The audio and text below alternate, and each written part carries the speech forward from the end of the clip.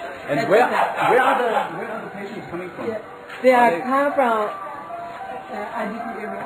From the IDP area. Yes, we have many village around there.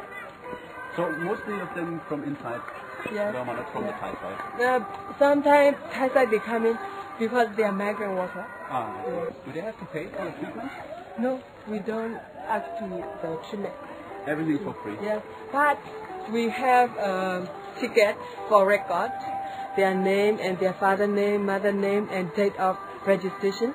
So we have to, we have to they keep very well. So we we ask for ten baht, ten baht for only one ticket and only first time. Later they don't have to pay; they have to use. Okay, so Yeah. they pay 10 baht. Yes, All ten right. baht. Yes. What is this patient's problem? This patient problem is uh, malaria. After malaria, he feels very weak and shaking. So we give a infusion. What is the main problem of the people coming here? Main, main is uh, we have uh, malaria only for rainy season, more more than the other season, and also like diarrhea also. Uh, many people step on the landmine in my area. In two months, we have four Four people. people here. Uh, his name is Doko. He from Moti. And he sat on the landmine at June.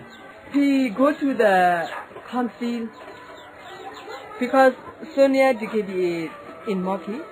So he go and uh, continue his work after they are fighting. Was the landmine in his on his field? Yeah, Right on his field. yeah, on his field. to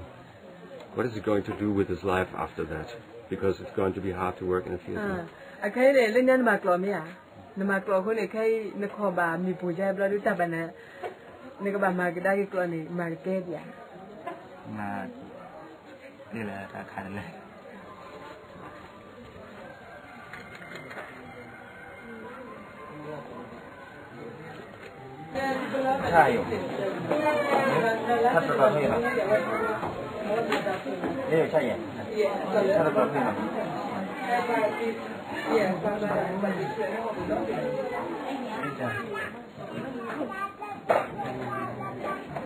Thank.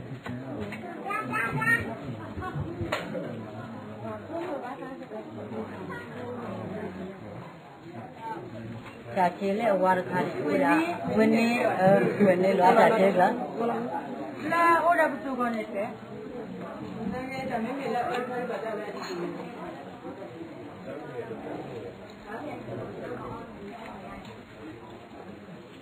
Lama, aku kini belah belah beli ya kila, kila, ni apa?